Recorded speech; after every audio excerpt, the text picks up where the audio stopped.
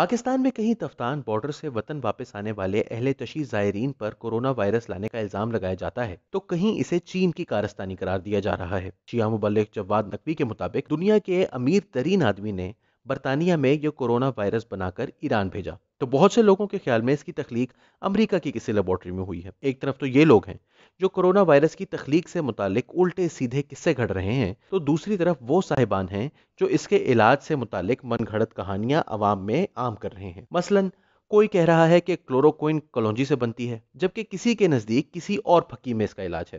لیکن پاکستان وہ واحد ملک نہیں کہ جہاں کرونا وائرس کے بنانے اور اس کو مٹانے کے حوالے سے سازشی تھیوریاں زبان زدے عام ہیں۔ ایران میں کئی ماہ تک کرونا وائرس کی حقیقت کا ہی انکار کیا جاتا رہا۔ پھر کچھ حضرات نے کہا کہ ہم مزاروں پر جا کر اس کا علاج کر لیں گے۔ کچھ کے نزدیک اسے امریکہ نے وہاں پہنچایا تھا تو کوئی اس کا شکار ہونے کو اپنے لیے سعادت قرار دے رہا تھا۔ بھارت میں گاؤں موتر اور گوبر سے اس کا علاج دریافت کیا جا رہا ہے۔ تو امریکہ میں پادری حضرات اسے ایک طرف خدا کا عذاب بھی قرار دے رہے ہیں اور دوسری طرف چین کی سوچی سمجھی سازش بھی۔ لیکن تقریباً تمام دنیا ہی میں یہودی سازش سب سے زیادہ مقبول سازشی تھیوری ہے۔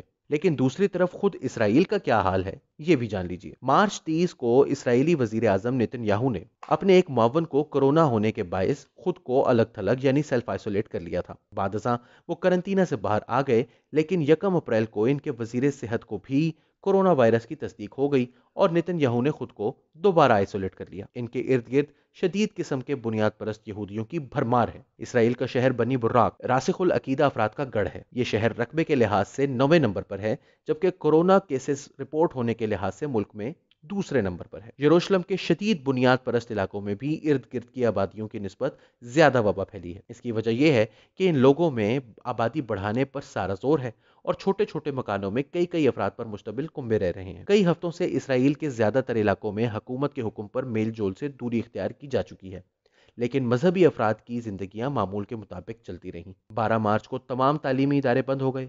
مگر بنیاد پرستوں کے مدرسوں میں تورات اور تلمود کی تعلیمات چلتی رہیں۔ عبادت گاہوں میں اجتماعات ہوتے رہے۔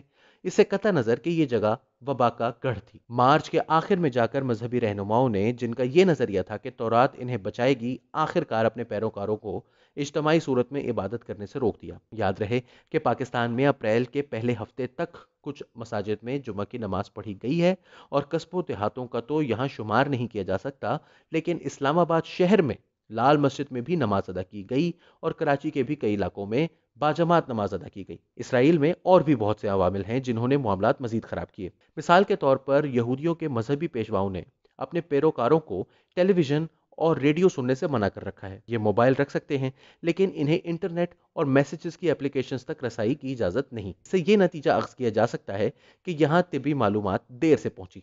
بہت سے لوگ حکومت کی جانب سے بھیجے گئے کورونا وبا کے متعلق پیغامات وصول کرنے میں ہی ناکام رہے۔ وزیر اعظم نتن یاہو جو ان دائیں بازو کے بنیاد پرستوں کی حمایت سے اقتدار میں آتے ہیں، عبادت گاہوں کو بند کرنے پر تذبذب کا شکار تھے۔ بالکل اسی طرح جس طرح پاکستان میں ہمارے وزیر اعظم عمران خان۔ پولیس اسی وقت ان علاقوں میں گئی جب مذہبی پیشواؤں نے باجماعت عبادات پر خود پابندی لگائی۔ دہائیوں تک اس طبقے کو اپنے معاملات حکومت کی فنڈنگ سے خود چلانے کی چھوٹ حاصل رہی۔ یہ اسرائیلی فوج کے عاشق بھی ہیں اور فوج میں بھی ان کے لیے ہمدردی پائی جاتی ہے۔ برطانوی جریدے دی اکانومسٹ میں شائع ہونے والی یہ رپورٹ دو باتیں ثابت کر رہی ہے۔ ایک تو یہ کہ اسرائیلی یہودی خود بھی اس کرونا وائرس سے اتنے ہی تنگ ہیں جتنے وہ لوگ جو اسے اسرائیلی سازش قرار دے رہے ہیں۔ ویسے ہی جیسے جواد نقوی کے نزدیک یہ وائرس برطانیہ میں بنایا گیا، لیکن برطانیہ کے وزیر اعظم اس وقت خود بھی آئی سی یو میں ہے دوسری بات یہ ثابت ہوتی ہے کہ سائنسی معاملات میں زبردستی مذہب کو گھسیٹنے کا ہمیشہ نقصان ہی ہوتا ہے۔ چاہے وہ پاکستان اور ایران کے بنیاد پرست مولوی ہوں،